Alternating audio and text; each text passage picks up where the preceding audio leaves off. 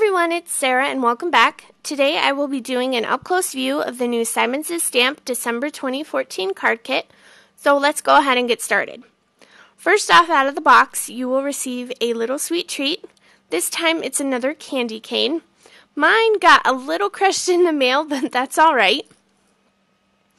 Next, you'll notice a mini Tim Holtz embossing ink pad. I currently use the Versamark ink for all of my embossing, so it'll be nice to try something new. Included in the kit is a little baggie of gold and silver sequins, and these come in various sizes.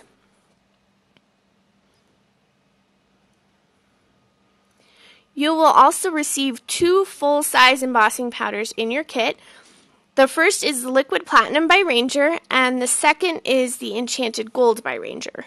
I currently own and absolutely love the Liquid Platinum, so I can't wait to try the gold.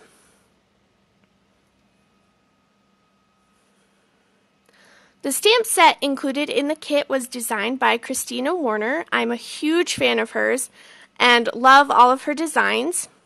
This one is called Sparkle and Shine. I'm really excited to use the little polka dot pattern in the bottom to create little backgrounds on my cards. In the kit, there will also be an inspiration sheet. This just gives you some ideas of what you can do with the items in your kit.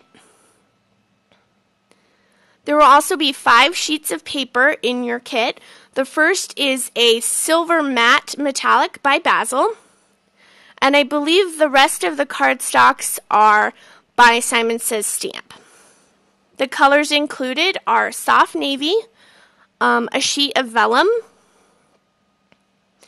surf blue, a 120 pound white cardstock, slate, and sea glass.